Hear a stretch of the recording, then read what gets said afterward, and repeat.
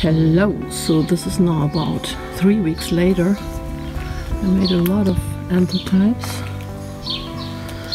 and uh, yeah, some of them are ready to be harvested. Some of them have really bleached. For example, this portrait here was blue, made from uh, red cabbage. I think I can open it pretty soon and some have really really faded over the time over the time and some of them need I guess another two three weeks. Yeah.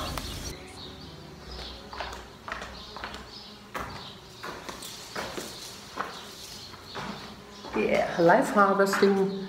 This is what I brought to you. I'm opening it now. Schnuck Wow. Look at that. That's a positive print on foil.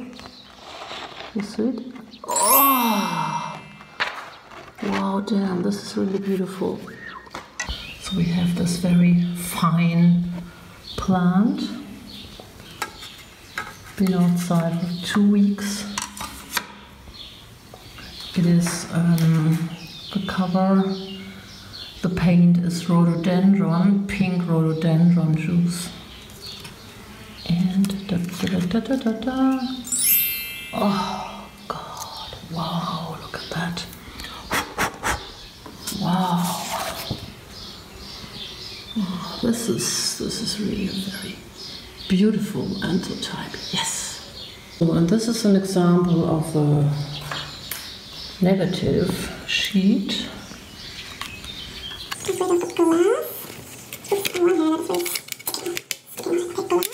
and this is, uh, I used this negative film in a pinhole camera. Yeah, that's not really cool. You actually don't really see anything with because uh, this is a negative, you see. It's quite thick, so maybe it wasn't enough, didn't get enough light. Well, no, not really. You see the color is really faded away. And, uh, oops. Hmm? Transparent positive. Oh, damn. Oh, this looks beautiful, right? What was it actually? Open it on the back. Rotkohl, red cabbage.